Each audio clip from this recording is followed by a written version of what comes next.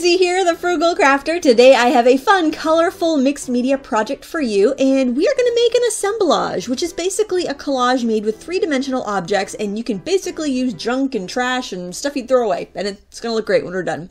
I started off by filling this mold with hot glue. Now this is a mold I picked up at Michael's in Canada last summer because I loved the wings, and I thought this is, is going to be perfect for some mixed media art I make eventually, and eventually finally came today. So you basically fill up the mold with your your hot glue and then smack it real well on the table. What that's going to do is it's going to make that glue go down to the nooks and crannies of your silicone mold and then it takes out any air bubbles. And then you can go in and fill in um, any edges or gaps or anything that you see needs to be topped off. So I went ahead and made a bunch of those uh, and as soon as the glue is cool, it's ready to use. So it's like the quickest way to cast stuff and it's more durable than plaster and it just dries so much quicker than paper clay and then you don't have to bake it like you would polymer clay. So I use hot glue all the time for this. It works so well and it's got a nice flex to it.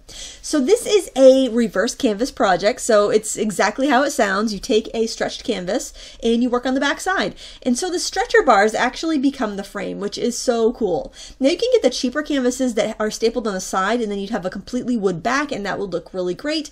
Uh, but I planned on gluing some brushes down to the side. Now you're probably thinking, Lindsay, why are you wasting those brushes? Well, here's the deal. Um, I'm usually pretty good about cleaning my brushes, and my kids are usually really good about cleaning their brushes, but occasionally one will get forgotten and I'll find it the next day and it'll be hard as a rock. So I've saved those brushes over the past year for a collage projects like this.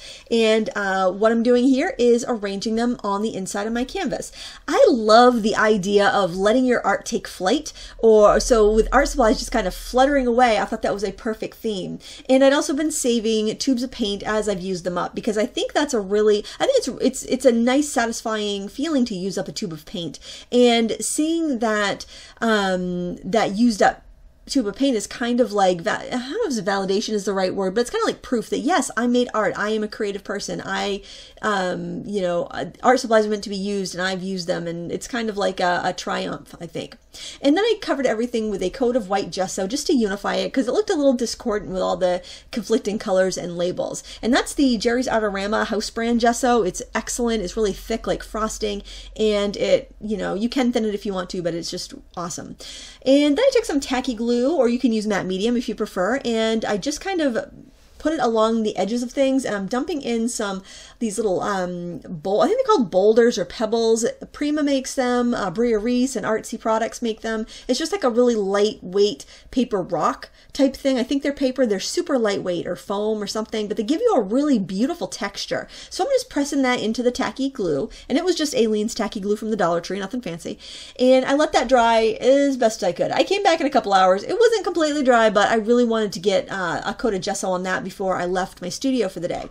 Uh, so I'm going over that with another coat of gesso and it is picking up some of the little pebbles that didn't get glued down very well. But the great thing about gesso is that it's kind of like an acrylic paint. Well, it's like a matte acrylic paint and acrylic paint has an adhesive property which will glue down any of those wayward uh, pebbles. So um, it works. I, I mean, in a perfect world, I would have time to let it completely dry and everything would be anchored down well, but it doesn't really matter but you do want to let it dry completely before you go into this step. So let it dry overnight.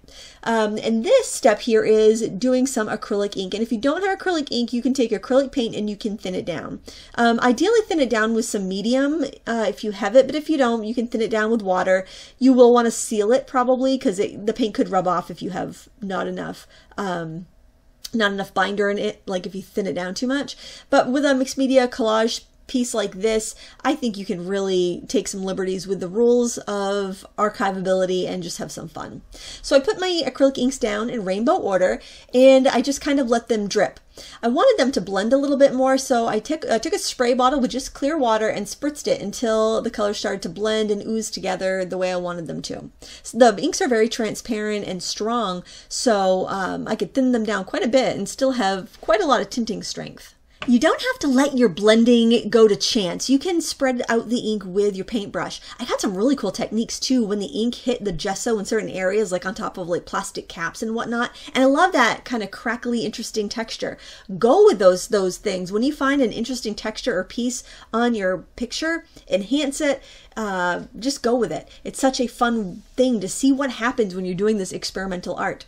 Now, after I was looking at these, uh, this color pretty much dry, I thought it would be nice if I had a little bit of shimmer on top. So I'm using iridescent calligraphy ink. It's also by Dr. P.H. Martin's, the same company that made the acrylic ink I was using.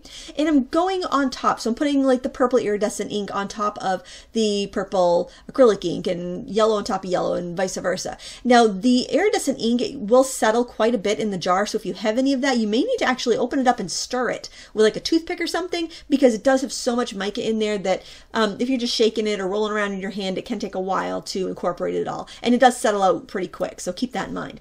Now, another great way to get texture is to use your heat tool. You can actually, on top of like damp or wet acrylic ink, you'll kind of bubble it a little bit and it just gives you a really neat texture. Now, I want to highlight the three-dimensional aspects of this painting a little bit more. So I'm using white iridescent ink and a brush and I'm just dry brushing it over all of the raised areas. And um, you could also like white back or sand back to the white layer if you wanted to or use gesso. But I thought that uh, iridescent ink just, it's slightly translucent so it lets a little bit of the color show through, but it gives you just this ethereal quality, which is what I want. I want this piece to be all about um, fun and creativity and um, lightness. And I just think that helped get that message across. So for hanging, you could just do a sawtooth hook on the back or a wire on the back, but I thought it would be more fun in keeping with the spirit of the piece to use some silver chain. So I'm just making a couple holes at the top of my canvas because it's just like a stretcher bar there. It's like a really soft wood. And I put eye hooks on each side and then I used a jump ring to attach the eye hooks to a piece of chain. And you can have your chain as long as or as short as you want. Um, I think I probably had this about 18, 16 to 18 inches maybe, probably more like 16 so it would have a nice peak when I hung it up. And that's all there is to it. The canvas was 12 by 12 by the way, and I think that's just a nice size. Uh, I can hang it on my studio door. I could hang it anywhere in my house where I want to remind and myself that a creative person lives here or remind anybody else that a creative person lives here. So if you see dishes in the sink, it's probably because I've been painting. I want to thank you so much for watching. Please give me a thumbs up if you liked it. Until next time, happy crafting.